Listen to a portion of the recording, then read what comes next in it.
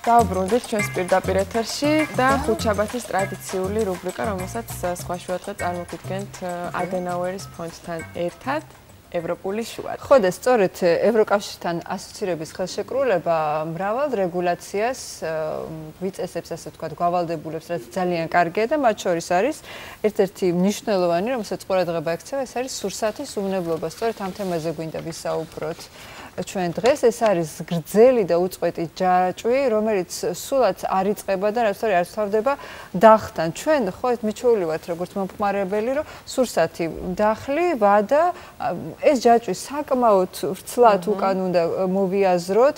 აქ მნიშვნელობა აქვს საქონლის ჯამრთელობას, ნიადაგის სისუფთავეს, მეცაც გეტყვით იმ სადგომებს, სადაც ის ცხოველები ცხოვრობენ, ასე ვთქვათ, რომელიც შემდეგ საკვებში მოიხმარება. მოკლედ, უნიშნელოვანესი ჯაჭვია ვიდრე ეს სურსათი მოვა დახლამდე და შემდეგ იმოქმედებს ჩვენს ჯამრთელობაზე. მოკლედ. და ძალიან კარგია რომ თუ ჩვენ გვინდა გავხდეთ მართლაც ევროპის ნაწილი, ჩვენ რაღაცა კონკრეტული დირექტივები, გეგმები მივიღოთ და ვალდებულებები ავიღოთ საკუთარ თავზე, რომ ეს ჯაჭვი მაქსიმალურად მაინც გამართულად ავამუშავოთ ჩვენს ქვეყანაში. მოდი წარმოგიდგენთ ჩვენ სტუმრად, სტუმარ სტუდიაში, შემდეგ სიუჟეტსაც გადავინაცვლოთ. სურსათის ეროვნული სააგენტოს იურიდიული დეპარტამენტის უფროსი ქალბატონი მაკა შუბლაძე არის ჩვენთან. გადაცემაში სტუმრად, თუმცა სანამ საუბარს დავიწყებთ, მე ვფიქრობ, უმჯობესი იქნება ნახოთ სიუჟეტი, რომელიც რა თქმა უნდა ლოგიკურია და სასიხარულოა, რომ ამ სიუჟეტსაც თქვა მასპინძელი არის ჩვენი მერიკო გუბელაძე. მოდით ვნახოთ რა ვითარება ამ თვალსაზრისით ჩვენს ქვეყანაში.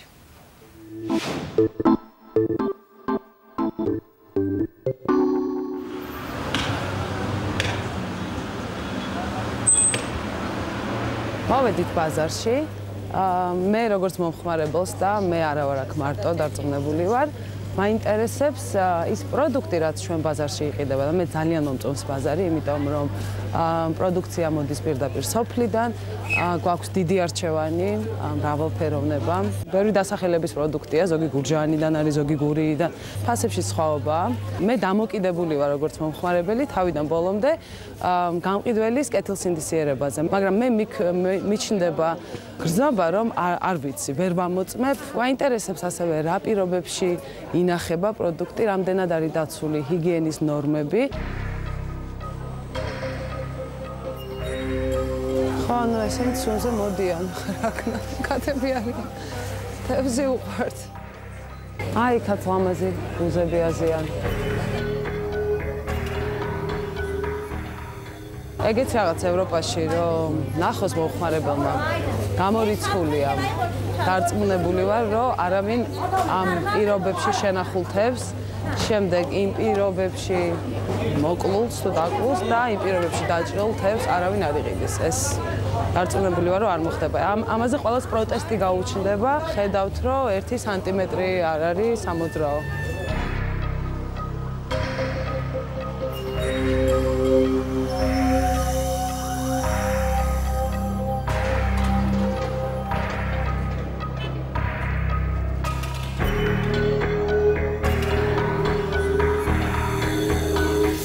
გამარჯობათ. გამარჯობათ, მოგესალმებით. საქართველოს მომხმარებელთა ფედერაციის თავმჯდომარე ქალბატონი მადონა ყოიძე.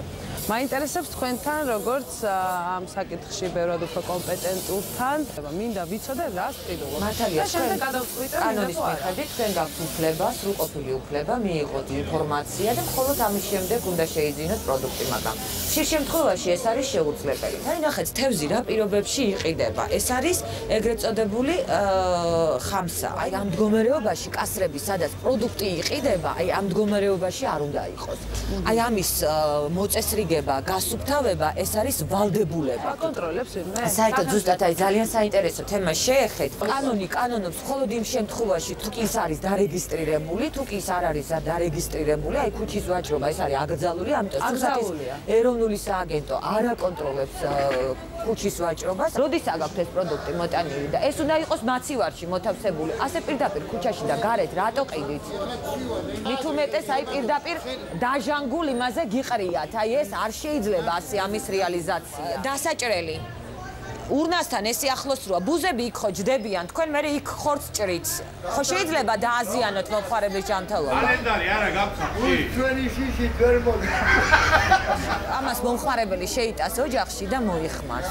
აი ნახე აი ნახე სიგარეტის ნამწოვები და ყველაფერი და წყალში დევს საერთოდ პროდუქტი თლიანი ინფორმაცია.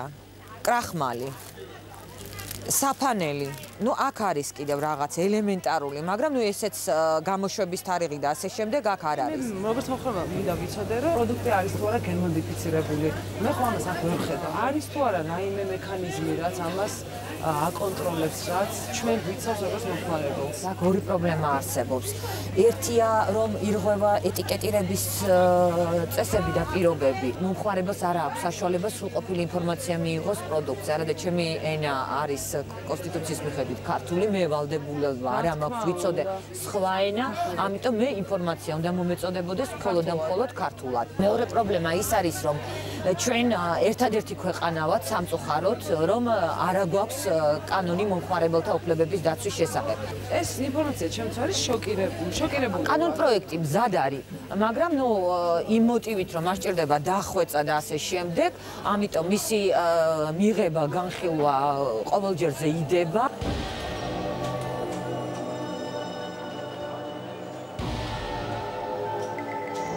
მე არ არ მიჩნდება პროტესტი ამ ხალხის მიმართ, ვინც გარე ვაჭრობით არის დაკავებული, ეს მათი საარსებო წყაროა, მაგრამ დიდი პროტესტი მიჩნდება იმის მიმართ, რომ მე არ ვარ როგორც მომხმარებელი დაცული და მარტივად რომ შევაფასოთ, კანონი არ კანონობს, ანუ კანონ დამცველები ჩვენ არ გვიცავენ.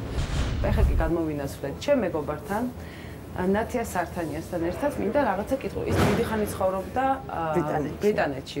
როგორც მოქალაქეს რა პრობლემები ქონდა? თუ ქონდა საერთოდ პრობლემები? ძალიან კარგი გამონათქვამი აქვს ბრიტანელებს და ძალიან ხშირად ხმარობენ და ეს არის you are what you eat. ანუ შენ ხარ ის რასაც შენ ღებულობ. ხო რითიც რითიც იკვებები ხო.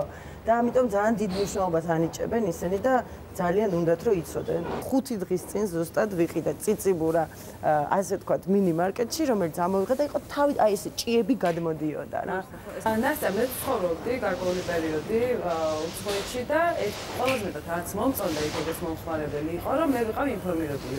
მე რო შევიდოდი სუპერმარკეტში, იქ დაფასოებული ერთი და იგივე პროდუქტი, მაგრამ ნუ ნაწილი იყო აბსოლუტურად ორგანული და უბრალოდ მოყვანილი, ნაწილი იყო გენმოდიფიცირებული, ნაწილი იყო შემოტანილი საიდანაც, მაგრამ მე ეს ყველაფერი ვიცოდი. ეწერა ეტიკეტს.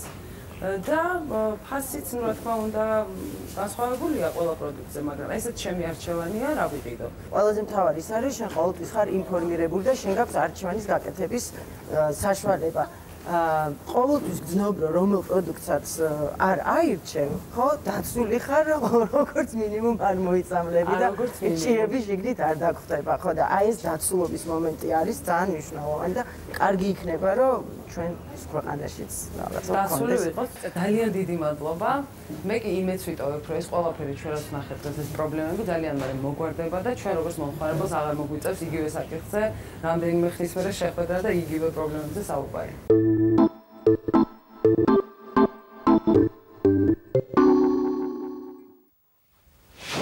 Ну ამ სუჟეტში ბაზარს უფრო დიდი ადგილი აკავა ხო და გარე ვაჭრობას და ეს 800-ია ჩვენ ვიცით მაგრამ აქვე მინდა დავძინო რომ აა უკეთესი მდგომარეობა არ არის წვრილ სუპერმარკეტებშიც იმიტომ რომ წვრილ მარკეტებში ხო, რომლებიც აი თქვა უბნის ან რაღაცა, იმიტომ რომ უამრავ ასეთ მარკეტში ზუსტად ასევე არ არის დაცული შენახვის პირობები, შეიძლება ახლა თქვათ იმაზე, იატაკზე არ უდევთ პროდუქტი და აგურით არ არის. შეიძლება მაცივრებს ელექტროენერგიის დაზეგვის მიზნით და ასე და ასე შემდეგ. ასე რომ ეს ესეთი ძალიან გლობალური პრობლემაა. და ძალიან მიხარია რომ ჩვენი რუბრიკის ევროპული შუადღის ფარგლებში შევეხებით ამ თემასაც შეგახსენებთ კონრად ადენაუერის ფონდთან ერთად წარმოგიდგენთ სხვა შუადღე ამ რუბრიკას და რაღაცა უფრო მეიმედება, როდესაც პრობლემატიკას ამ რუბრიკის ქვეშ განვიხილავთ, იმიტომ რომ ჩვენ ადრე თუ გვიან აუცილებლად მოგვიწევს დაფიქრების შემდეგ უკვე ქმედებებზე გადასვლა. კიდევ ერთხელ მოგესალმებით და მოდით რაღაც სიტუაციის შეფასებით დავიწყოთ. თქვენ როგორც თქვა ამ სფეროში მომუშავე ადამიანის შეფასება როგორია? რა ვითარება გვაქვს სამომხმარებლო ბაზაზე? თვალსაზრისით. მოგესალმებით, დიდი მადლობა მოწვევისთვის. როგორც სიუჟეტმაც აჩვენა და თქვენმა კომენტარებმაც ძალიან მნიშვნელოვანი სფეროა და ამავე დროს ძალიან სენსიტიურიც. სურსათის ეროვნული სააგენტო წარმოადგენს მაკონტროლებელ ორგანოს, რომელიც აკონტროლებს სურსათის უნებლობას ვეტერინარიასა და მცენარეთა დაცვის სფეროებს და მოთხოვნებს ამ სფეროებში. და ერთ-ერთი ყველაზე რთული სეგმენტი და სფერო სურსათის უნებლობა, რადგანაც პირდაპირ გადის ადამიანის სიცოცხლესა და ჯანმრთელობაზე აი ამ სფეროს მოთხოვნები. აა მინდა ვთქვა რომ 2015 წელი შეიძლება ითქვას რომ გამოირჩეოდა წინაწლებიდან წინაწლებთან შედარებით, იმიტომ რომ სურსათის ეროვნული სააგენტოს საქმიანობა უფრო ეფექტიანი გახდა და მასშტაბური. ამას აჩვენებს როგორც ჩვენი ანგარიში, ამავე დროს სტატისტიკური მონაცემებიც რას გვიხსოვთ კონკრეტულად? იმიტომ მე მახსოვს რომ ინსპექტორების რაოდენობა იმდენად მცირე იყო, რომ ფაქტობრივად შეუძლებელი იყო მოწვა ადეკვატურად. დიახ, გაიზარდა ადამიანური რესურსი. აა გაიზარდა შესაბამისად ინსპექტირებების და ზოგადად სახელმწიფო კონტროლის მასშტაბები, რაოდენობა. რა თქმა უნდა, რაოდენობის გაზრდა მოგცა ის შედეგი, რომ უფრო მეტი ბიზნეს ოპერატორი არის შემოწმებული. შემოწმების შედეგად ერთი კეთდება ის, რომ მათ მიეცემათ რეკომენდაციები ისეთ შეუსაბამობების არსებობის შემთხვევაში, რომელიც პირდაპირ საფრთხეს არ უქმნის ადამიანის სიცოცხლეს და ჯანმრთელობას და მათ საშუალება აქვთ, რომ გაიგონ თუ არ იციან მოთხოვნები ამ სფეროში, გაიგონ და დააკმაყოფილონ ისინი გარკვეულ ვადაში, ხოლო იმ შემთხვევაში თუ პირდაპირ საფრთხეს ვხედავთ, რომ ადგება ადამიანის სიცოცხლეს და ჯანმრთელობას, ამ შემთხვევაში მათ უჩერდებათ საწარმოო პროცესი. ამი ეს არის საშუალება იმისა, რომ მომხმარებელი იქნას დაცული. თუმცა რა თქმა უნდა ახლა მხოლოდ სურსათის ეროვნული სააგენტოს როგორი ღონისძიებები და როგორი რესურსიც არ უნდა იყოს ჩართული ამ სფეროში. ეს იყო ხო მაგნიშნული თქვა არარეგისტრირებული სავაჭრო ობიექტებზე წვდომა კანონს არა აქვს ეს ასეა მართლა? ჩვენ უნდა შევთანხმდეთ ასეთ რაღაცაზე. არსებობს ფაქტები, რომელიც არის კანონდარღვევა, ანუ ბიზნეს ოპერატორი, რომელიც ამ სფეროში საქმიანობს, პირი იქნება ფიზიკური თუ იურიდიული პირი. და გადაწყვეტს რომ მით უმეტეს სურსათის უნებლობის სფეროში წარმართოს თავისი საქმიანობა, ის ვალდებულია დარეგისტრირდეს, შესაბამისი რეგისტრაცია გაიაროს საქართველოს იუსტიციის სამინისტროში. ყველი ჩამოაქვს და თავისუფალში ყიდის. მაგასაც მოგახსენებთ, ანუ თუ ის არ არის დარეგისტრირებული ბიზნეს ოპერატორად, მისი საქმიანობა არის აკრძალული. შესაბამისად საქმიანობა, რომელიც უკანონოა და აკრძალულია, მისი კონტროლი, რა თქმა უნდა, ლოგიკას მოგვიყვება. ვიდრე შევეხებოდეთ ცალკეულ რგოლებს, მინდა ჩემთვისაც და ალბათ მაყურებლისთვისაც უფრო გასაგები რო იყოს.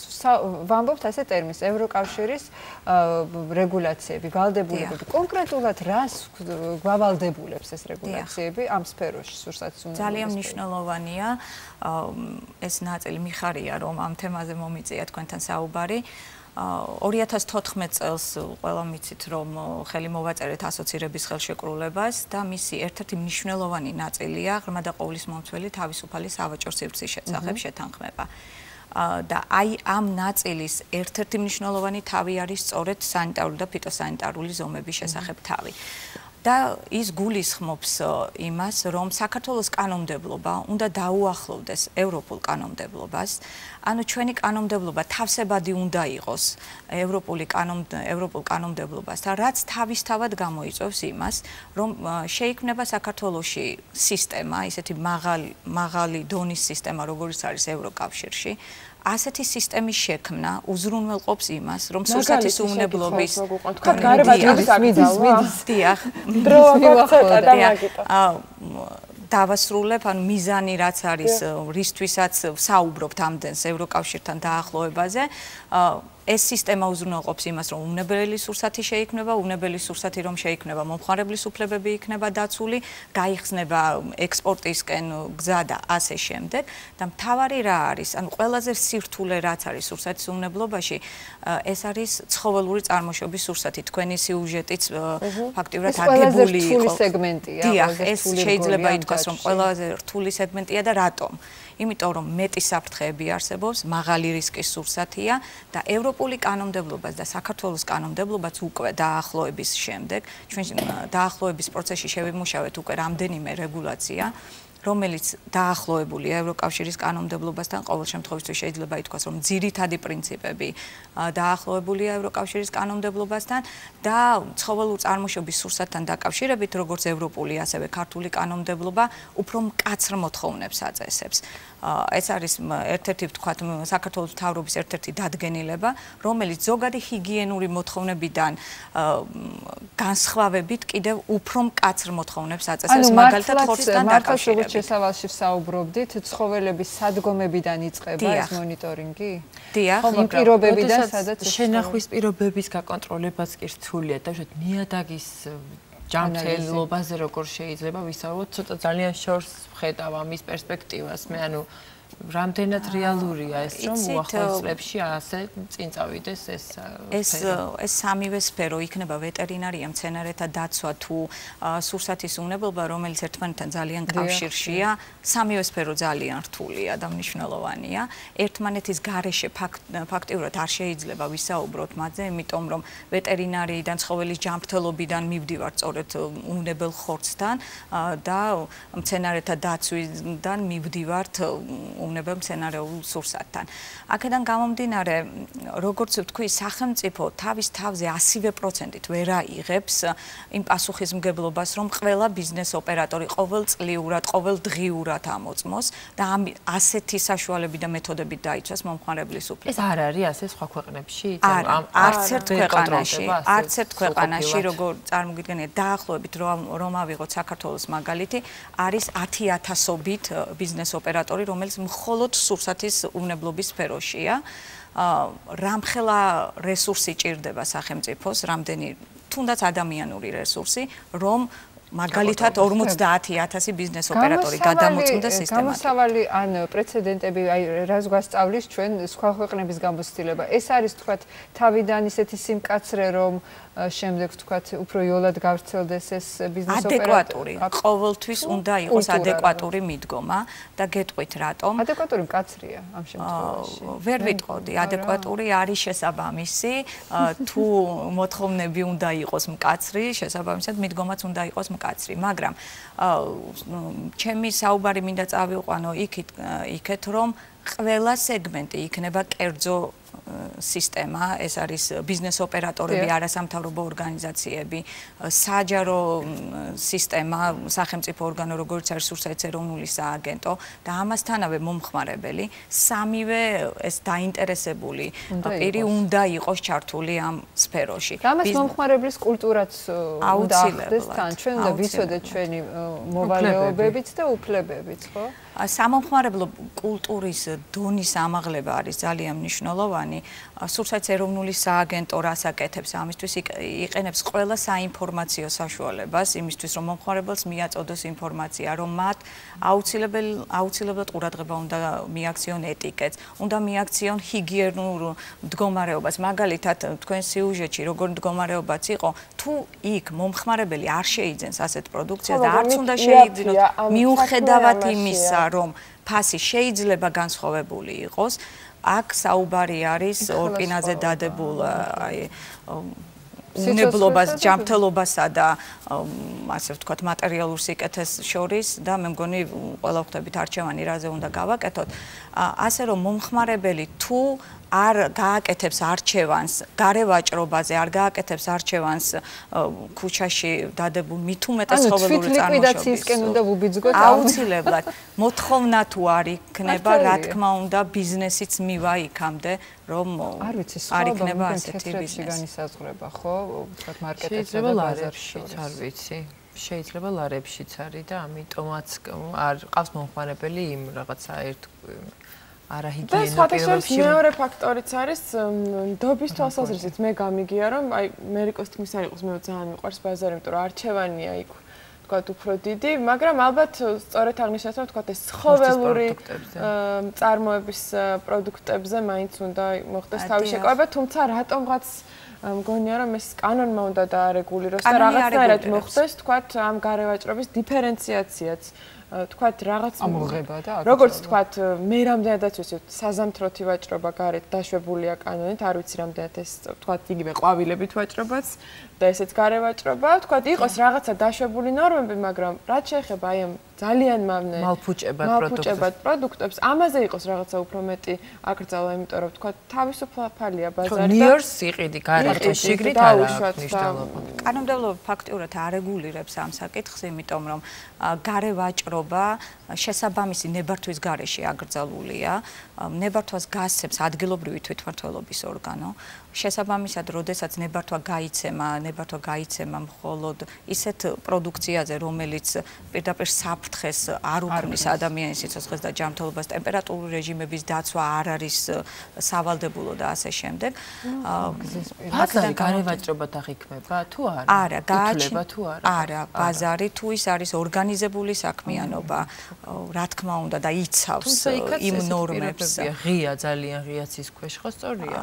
და ბაზარი ქვია ასე 2015 წლის ბოლოს ხათაშორ ძალაში შევიდა მთავრობის დადგენილება, რომელიც ბაზრების და ბაზრობების მოწყობის წესს არეგულირებს და სურსათი ეროვნული სააგენტოს თანამშრომელებმა ამ რეგულაციის შემუშავებაში ძალიან დიდი წვლილი შეიტანეს.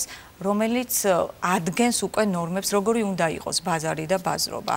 და რა თქმა უნდა, ბიზნეს ოპერატორებმა, რომლებიც დაინტერესებულები არიან, რომ ამ მიმართულებით დასაქმდნენ, აუცილებლად ეს ინფორმაცია უნდა მოიძიონ. აქვე გამოვიყენებ საშუალებას და ვიტყვის სურსაიც ეროვნული სააგენტოს ვებგვერდი, რომელიც განახლებულია უფრო ინფორმირებულია და უფრო მოქნილია ყველა დაინტერესებული პირისთვის nfa.gov.g ასევე მომხმარებელ საშუალება აქვს დარეკოს ხელხაზე 247-47-01 და ეს აქტიურობა მომხმარებლის ძალიან მნიშვნელოვანია. როგორც მახსოვს თუ არ არის შესული ზარი მოთხოვნით რომ მოდით და შემოწმოთ რაღაცები არ მოწდება ხო? ესე ვიცი რომ მომხმარებელი იწევს სააგენტოს რომ შემოწმოს რაღაც. თუ მომხმარებელი ინფორმაციას მიაწვდის strukturis სააგენტოს იქნება ეს ხელი ხაზი თუ მატერიალური ფორმით. სურსაც ეროვნული სააგენტო მყისიერად იმ დღესვე ახდენს რეაგირებას და ამ სხვას მოწოდებას რომ გავაერთიანოთ ძალები და გადავარჩინოთ ჩვენი ჯანმრთელობა და ბოლოს მაინტერესებს თქვენ პროფესიონალი ხართ ამ თქვენი სფეროსი და მაინტერესებს თუ გაგვ დაახლოებით გათვლილი ყველაზე ოპტიმალური ვადა როდის მიუახლოვდებით ამ ვალდებულებებს ჩვენ ეს მთავრობას უკვე გათვლილი აქვს 2015-2027 წლებში არის გადანაწილებული 12 წლისთვის 2027 წლისთვის ჩვენ გვექნება ისეთი საკანონმდებლო ბაზა როგორიც აქვს ფაქტიურად ევროკავშირში. არის 27 წლამდე ჯანმრთელად მივახციოთ. ამიტომ ვიყოთ აქტიურები, ჩვენი თავიც დავიცვათ, ჩვენი ახლობლებიც, გარემოებიც და შეუწყოთ ხელი ხო პროცესებს, იმიტომ რომ კი, არაერთხელ ხო თქვით და ვიმეორებთ კიდევ რომ მნიშვნელოვანია საზოგადოების ჩართულობა ესეთი ესეთ თემებში და ჩვენ სწორედ ამას არ მივაჩუმათოთ არანაირად არ ყვება. ბამხილოთ ვინც არ ყვევს ის ადამიანები ხო სწორია. და სააგენტო მზად არის რომ შესაბამისი რეაგირება მოხდეს. ძალიან მადლობა. ყოველთვის მზად ავართ რომ გავაჟღეროთ ასეთი თემები ჩვენს ეთერში. მომავალ ხუთშაბათს უფრო სწორედ ორ კვირაში ახალ თემას შემოგთავაზებთ ადენაუერის ფონდთან ერთად, რომელიც იქნება სწორედ აი ამ სახელის ქვეშ გაერთიანებული ევროპული შუადღე. ბევრი ევროპული შუადღე თქვენ ყველას. დიდი მადლობა. მადლობა.